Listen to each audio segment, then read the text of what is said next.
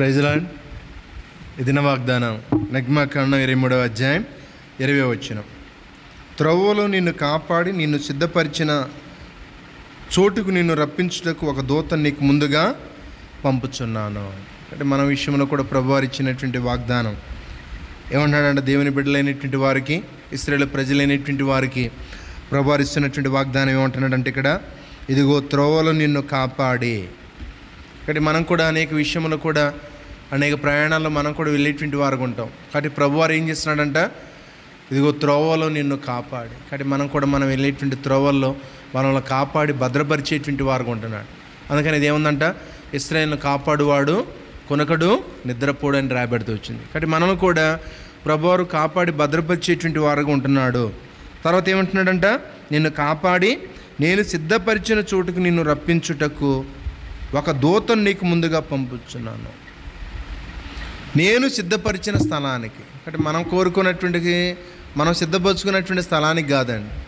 కానీ ప్రభు వరకు కొన్ని సిద్ధపరచుకున్నటువంటి స్థలానికి మనల్ని తీసుకురావటం కొరకు ఏం చేస్తాడంట? నీకు ముందుగా ఒక దూతను పంపుతున్నాను కానీ దూతను పంపించేటువంటి వారు ఉంటున్నాడు అందుకని దేవుని యొక్క వాక్యంలో కూడా రాయబడుతూ వచ్చింది దేవుని ఎందు భయభక్తులు వారి చుట్టూ ఆయన దూత కావలి ఉండి వారిని రక్షించును అని రాయబడుతూ వచ్చింది. కాబట్టి కాపాడి భద్రపరిచేటువంటి వారు ఉంటున్నాడు. ఒక దూతను పంపిస్తాడు. మనం చూసినట్లయితే దేవుని యొక్క వాక్యంలో అపస్సుల కార్యంలో పన్నెండు అధ్యాయులు మనం కానీ చూసినట్టయితే అక్కడ కూడా ఉంది పేతురు సెరసాల్లో ఉన్నాడు. దూతను పంపించాడు. ముందుగా పంపించాడు. సిద్ధపరిచినటువంటి స్థలానికి తీసుకొచ్చాడు. ఎక్కడికి? ప్రార్థన స్థలానికి తీసుకొచ్చాడండి.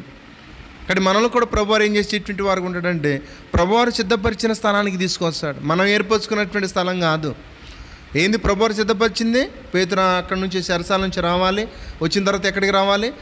ప్రార్థన స్థలం జరుగుతున్నటువంటి స్థలం దగ్గరికి రావాలి. అందుకే ప్రభువారు నీ నా విషయంలో కూడా ప్రభువారు తను సిద్ధపరిచినటువంటి స్థలానికి మనల్ని కూడా తీసుకో అందుకని ఇదేనా వాగ్దానం ఏమంటున్నాడంట? ఇదిగో త్రోవలో నిన్ను కాపాడి నేను సిద్ధపరిచిన చోటుకు నిన్ను రప్పించుటకు ఆ దూతను నీకు ముందుగా పంపుతున్నాను కాబట్టి మన విషయంలో కూడా మనల్ని కూడా దేవుని యొక్క పరిచయ విషయంలో కూడా దేవుడు నెరవేర్చిన కార్యాల విషయంలో దూతను పంపించి దేవుడు సిద్ధపరిచినటువంటి స్థలానికి తీసుకొచ్చేటువంటి వాడుగా ఉండాలి ఇక్కడ మనం కూడా ప్రభువారు చెప్పినటువంటి మాటకు లోబడే ఆ విధంగా జీవించినట్లు ప్రభువారు మనకు సహాయం చేయను గాక ఆమె